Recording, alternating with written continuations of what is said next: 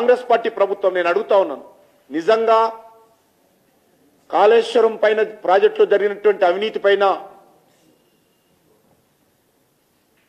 దర్యాప్తు జరగాలని కోరుకుంటున్నారా లేదా? దోషులకు శిక్ష పడాలని కోరుకుంటున్నారా లేదా?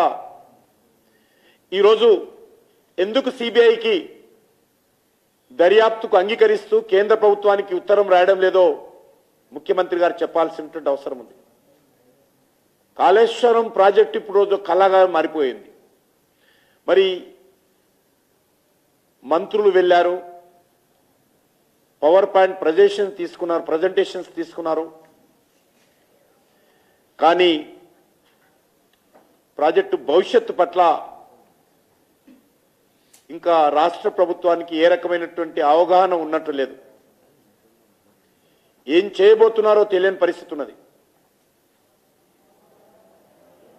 అందుకే నేను ఈరోజు మిగతా అంశాల మీద పోకుండా నేను నేరుగా ముఖ్యమంత్రిని ఒకటే ప్రశ్నిస్తున్నాను. మీకు చిత్తశుద్ధి ఉందా లేదా? బీఆర్ఎస్ ప్రభుత్వ హయాంలో జరిగినటువంటి అతిపెద్ద స్కాము ఈ యొక్క కాళేశ్వరం ప్రాజెక్టు. దీనిపైన సిబిఐ దర్యాప్తుకు అంగీకారమా లేదా? కేంద్రానికి ఉత్తరం రాస్తారా లేదా? దోషులను శిక్ష పడాలని కోరుకుంటున్నారా లేదా? లేక మీకు బీఆర్ఎస్ పార్టీకి మజ్లిస్ పార్టీ మధ్యవర్తిత్వం చేసి ఏమైనా అంగీకారం కుదిర్చిందా? ఈరోజు తెలంగాణ ప్రజలు కోరుకుంటున్నారు. గత శాసనసభ ఎన్నికల్లో తెలంగాణ ప్రజలు రెండే రెండు కారణాలతో బీఆర్ఎస్ నుడించారు. ఒకటి బీఆర్ఎస్ టైంలో జరిగినటువంటి అవినీతి. రెండు కేసీఆర్ యొక్క కుటుంబ పాలన. ఈ రెండు అంశాల మీదనే తెలంగాణ ప్రజలకు కాంగ్రెస్ ఓటేశారు తప్ప కాంగ్రెస్ పార్టీ మీద ప్రేమతో కాదు రాహుల్ గాంధీ మీద విశ్వాసంతో కాదు. కేసీఆర్ పీడ విరగడ కావాలి బీఆర్ఎస్ పార్టీ పోవాలి అనేటువంటి ఆలోచనతో ప్రజలు ఓటేస్తే ఈరోజు న్యాయ విచారణ పేరుతో బీఆర్ఎస్ ప్రభుత్వానికి కేసీఆర్కు మేలు చేసే విధంగా కాంగ్రెస్ పార్టీ ప్రభుత్వం అడుగులు వేస్తుంది. కాంగ్రెస్ పార్టీకి పూర్తి స్థాయి మెజార్టీ లేదు కాబట్టి కాంగ్రెస్ పార్టీ ప్రభుత్వం తుమ్మితో పడిపోయే తుమ్మితే పడిపోయే ప్రభుత్వం కాబట్టి బీఆర్ఎస్తో ఏదైనా ఒప్పందం కుదుర్చుకున్నారా అని ఈరోజు తెలంగాణ ప్రజలు అనుమానపోతున్నారు. నేను ఫామ్ హౌస్లో ఉంటాను నువ్వు ప్రగతి భవన్లో ఉండు. నీ దగ్గరికి నేను రాను నా దగ్గరికి నువ్వు రావద్దు అనేటువంటి ఆలోచనతో ఈరోజు ఈ రెండు పార్టీలు మాజీ ముఖ్యమంత్రి ముఖ్యమంత్రి ఇద్దరు కూడా ఏమైనా ఎంఐఎం మధ్యవర్తిత్వంతో అవగాహనకు వచ్చారా? ఈరోజు తెలంగాణ ప్రజలు కోరుకుంటున్నారు. తెలుసుకోవాలి తెలవాల్సిన బాధ్యత ఉన్నది. రివ్యూలు చేశామని చెప్పారు. మంత్రులు స్వయంగా వెళ్ళారు. నేను ఒక్కటే అడుగుతా ఉన్నాను. మీరు రివ్యూలు చేయండి. పవర్ పాయింట్ ప్రజెంటేషన్స్ ఇవ్వండి. ప్రకటనలు మాత్రం చేయండి. మాకేం అభ్యంతరం లేదు. కానీ సిబిఐ దర్యాప్తుకి ఎందుకు ఆదేశించడం లేదు? మీరు ప్రతిపక్షంలో ఉన్నప్పుడు చెప్పారు కదా ప్రధానమంత్రి గారిని సవాల్ చేశారు కదా. బీజేపీ బీఆర్ఎస్ ఒకటైనటువంటి తప్పుడు వితండవాదం ఎన్నికలకు ముందు తెచ్చారు కదా. ఈ రోజు నేను సవాల్ చేస్తా ఉన్నాను బీజేపీ స్టేట్ ప్రెసిడెంట్గా మీరు బీఆర్ఎస్ పార్టీ కాంగ్రెస్ పార్టీ ఒకటి కాదు అని అనుకుంటే దమ్ముంటే సిబిఐకి దర్యాప్తుకు ఆదేశించాల్సిందిగా నేను సవాల్ చేస్తా ఉన్నాను ఆదేశించినటువంటి నలభై ఐదు సంవత్సరం నలభై ఎనిమిది గంటల్లో సిబిఐ దర్యాప్తు ప్రారంభిస్తుందని కూడా నేను హామీ ఇస్తున్నాను. తెలంగాణ ప్రజలను కూడా కోరుతా ఉన్నాను. ఈ రెండు పార్టీల యొక్క నాటకాలు చూడాల్సిందిగా కోరుతా ఉన్నాను ఇల్లు అల్కగానే పండుగ కాదు. గ్యారంటీల పేరుతో అధికారంలో రావడమే కాదు. కాబట్టి ఇచ్చిన మాట మీద నిలబడాల్సినటువంటి బాధ్యత ఉన్నదనే విషయాన్ని నేను ఈరోజు కాంగ్రెస్ పార్టీ ప్రభుత్వానికి జ్ఞాపకం చేస్తూ దీనిపైన ముఖ్యమంత్రి గారు స్పందిస్తారని తెలంగాణ ప్రజలు ఏదైతే ఆకాంక్షించారో ఏదైతే కోరుకున్నారో టిఆర్ఎస్ ప్రభుత్వం యొక్క అవినీతి కుంభకోణాలపైన దర్యాప్తు జరగాలని కోరుకుంటున్నారో దానికి అనుకూలంగా ముఖ్యమంత్రి స్పందిస్తారని భావిస్తా ఉన్నాను.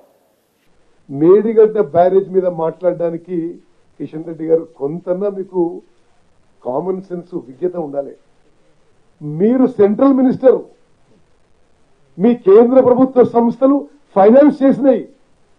మేడిగడ్డ బ్యారేజ్ కొలాబ్స్ గురించి ఈరోజు మాట్లాడుతున్నావు నువ్వు.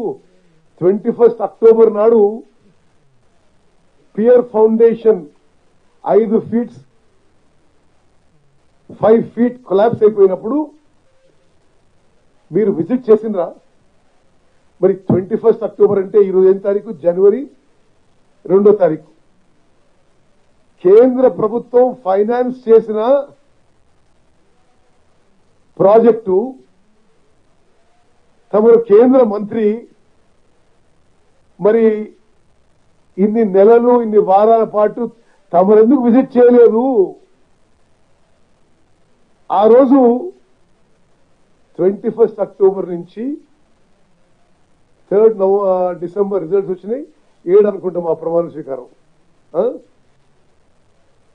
ముఖ్యమంత్రి కల్వకుంట్ల చంద్రశేఖరరావు గారు నోరు మెదపలేదు. మీరు ఎందుకు ప్రశ్నించలేదు మేము అవుతున్నా మీరు ప్రశ్నించలేదు. మీరు విజిట్ చేయలేదు. కనీసం కుంగిపోయిన మేడిగడ్డ బ్యారేజ్కి విలేకరులను కూడా అనుమతించకుంటే మీరు మాట్లాడలేదు. మొదటిసారి నేను ఇరిగేషన్ మంత్రిగా నా ఎంబడి సీనియర్ మంత్రులు జర్నలిస్ట్ తీసుకుపోయి Medigadda barrage on site inspection చేసినాము ప్రజెంటేషన్ చేసినాము. తప్పనిసరిగా ఏం చేయాలో చేస్తాము. వీఆర్ కమిటెడ్ ముఖ్యమంత్రి రేవంత్ రెడ్డి గారి నాయకత్వంలో కాంగ్రెస్ ప్రభుత్వం పారదర్శకత అవినీతి రహితమైన పరిపాలన మరి కొనసాగిస్తాం. తప్పనిసరిగా ఎవరు తప్పులు చేసినా మేము వదిలిపెట్టమని చెప్పి మరోమారు నేను మనం చేస్తున్నా. అదేవిధంగా ఈ Kaleshwaram project central water commission ఎనభై వేల కోట్ల ఎనభై వేల కోట్ల ఎస్టిమేట్స్తో మంజూరు చేసినప్పుడు మళ్ళీ మీ కేంద్ర ప్రభుత్వ సంస్థల దగ్గరనే రీఇంజనీర్డ్ రీడిజైన్డ్ అడిషనల్ ఫైనాన్స్తో మీరు పోయిన ప్రాజెక్టులకి ఎట్లా మీరు అనుమతించిండ్రు ఎనభై వేల కోట్ల ప్రాజెక్టు వాళ్ళు one point two seven lakh క్రోర్స్కి పెంచి పెంచిన ప్రాజెక్టు కూడా కేంద్ర ప్రభుత్వ సంస్థలే పైసలు ఇచ్చినాయి. మీ పిఎఫ్సి పవర్ ఫైనాన్స్ కార్పొరేషన్ మీ రూరల్ ఎలక్ట్రిఫికేషన్ కార్పొరేషన్ మీ అధిపక్షుల బ్యాంకులు మరి ఈరోజు మమ్మల్ని ఏదో బదనాం చేసే ప్రయత్నం చేస్తున్నారు. ఇది టోటలీ ఫాల్స్ తప్పనిసరిగా మేము ఏ మాట చెప్పినామో ఆ మాటకి కట్టుబడి ఉన్నామని చెప్పి నేను మనం చేస్తున్నా. అదేవిధంగా మీరు ఏదో సిబిఐ ఈడీ ఏదో మాట్లాడుతున్నారు. మీరు ప్రతిపక్షంలో ప్రతిపక్ష పార్టీలు ప్రభుత్వంలో ఉన్న కర్ణాటకలో హిమాచల్ ప్రదేశ్లో వెస్ట్ బెంగాల్లో మరి ఢిల్లీ ప్రభుత్వంలో ఎవరి అనుమతితో అక్కడున్న ఈ దేశంలో ఉన్న ప్రతిపక్ష పార్టీ నాయకులు అందరినీ సుమారు సుమారు మీరు కేసులు వేసిండ్రు. మీరు చాలా మంది జైల్లో వేసిండ్రు. మరి పదేళ్ళ పాటు మీరు కేంద్ర ప్రభుత్వంలో ఉండి మీ దోస్తులు టిఆర్ఎస్ పెద్ద మనుషులు ఇక్కడ ప్రభుత్వంలో ఉంటే ప- మీరే అంటున్నారు ఈరోజు మీరు అంటున్నారు లక్షల కోట్లు దోచుకున్నారని. మరి ఎందుకు మీరు కేసులు వేయలే? ఎవరైనా ఆపినరా మీరు సిబిఐ కేసులు ఈడీ కేసులు ఆపేయడానికి enforcement directorate about money laundering లక్షల కోట్లు అంటున్నారు. మీరు పదేళ్ళ పాటు ఏం లాలుచి పడి మీరు దేశంలో ఉన్న ప్రతిపక్ష నాయకులందరి మీద కేసులు వేసినారు కేసీఆర్ మీద కానీ ఇక్కడ ఇరిగేషన్ శాఖ మీద కానీ ఎందుకు అసలు మీరు పట్టించుకోలేదు? అంటే ఏం మతలవుద్దని ఈరోజు మా ప్రభుత్వం ముందుకు పోతుంటే మీరు ఏదో బురద జరగడానికి ప్రయత్నం చేస్తుండ్రు ఇది తగదు ఇది ఖండిస్తుందని చెప్పి మనవి చేస్తున్నాను అదేవిధంగా హైదరాబాద్ వచ్చినప్పుడల్లా నరేంద్ర మోదీ గారు అమిత్ షా గారు జేపీ నడ్డా గారు ఇది కాళేశ్వరం ప్రాజెక్టు ఏటీఎం ఇది వీళ్ళు ఇది మరి వాళ్ళే ప్రధానమంత్రి హోంమంత్రి దేశాన్ని నడిపించేటోళ్ళు. అప్పుడు why the order enquiry why the ask for CBI ED things దేశంలో ఉన్న ప్రతిపక్ష పార్టీలని ప్రతిపక్ష ముఖ్యమంత్రులందరినీ చ- అసలు ఉన్న దాంట్లో లేని దాంట్లో చాలా మటుకు మీరు ఇబ్బంది పెట్టారు కదా. కేసీఆర్తో ఏం దోస్తుందని చెప్పి మీరు మీరు చేయలేదు. తప్పనిసరిగా మేము చెప్పింది చేస్తాము. అదేవిధంగా దేశం మొత్తం రాష్ట్రం మొత్తం అడుగుతుంది.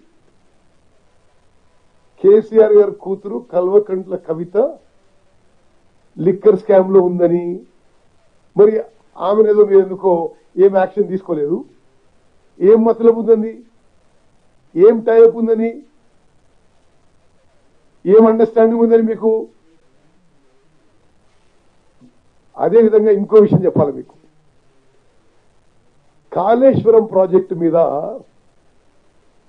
ఇక్కడనేమో రాష్ట్ర ప్రభుత్వం మేము అక్కడ అప్లై చేసినాం అంటారు.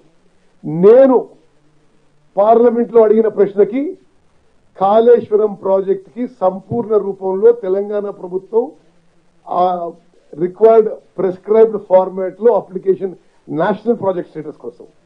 నేషనల్ ప్రాజెక్ట్ స్టేటస్ కోసము అప్లై చేయలేదు అన్నారు. మరి